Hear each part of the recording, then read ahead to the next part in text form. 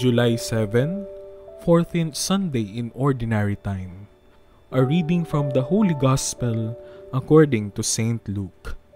At that time, the Lord appointed seventy-two others, whom he sent ahead of him in pairs, to every town and place he intended to visit. He said to them, The harvest is abundant, but the laborers are few. So ask the master of the harvest to send out laborers for his harvest. Go on your way. Behold, I am sending you like lambs among wolves. Carry no money bag, no sack, no sandals, and greet no one along the way. Into whatever house you enter, first say, Peace to this household. If a peaceful person lives there, your peace will rest on him. But if not, it will return to you. Stay in the same house and eat and drink what is offered to you, for the laborer deserves his payment. Do not move about from one house to another. Whatever town you enter and they welcome you, eat what is set before you, cure the sick in it, and say to them, The kingdom of God is at hand for you. Whatever town you enter and they do not receive you, go out into the streets and say, The dust of your town that clings to our feet, even that we shake off against you. Yet, know this the kingdom of God is at hand.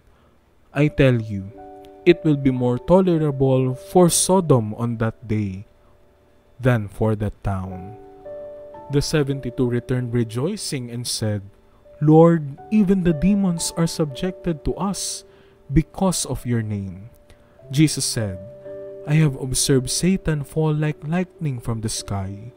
Behold, I have given you the power to tread upon serpents and scorpions and upon the full force of the enemy, and nothing will harm you. Nevertheless, do not rejoice because the spirits are subjected to you, but rejoice because your names are written in heaven. The Gospel of the Lord. Successful Mission Besides the twelve whom he sends to preach to the lost house of Israel, Jesus appoints another group of disciples, the seventy-two, seventy in some manuscripts, who will later proclaim the gospel to pagan nations. This group will become the progenitors of different peoples in the world. Jesus will send the disciples on mission before his ascension into heaven. In the meantime, he is preparing these men by engaging them in a practicum for their first training exercise. They are to set out on a mission of peace, giving shalom to every household, and prepared to receive peace in return. They are called to witness to their trust in divine providence by traveling very light. They must learn contentment, remaining in their mission field, and not shopping around for more comfortable lodgings. The disciples are full of joy upon their return from their first salvo of missionary journey. They have witnessed the defeat of the powers of evil Jesus spends time listening to their success stories and shares their exhilaration and joy, lest his disciples start to gloat with pride and self importance.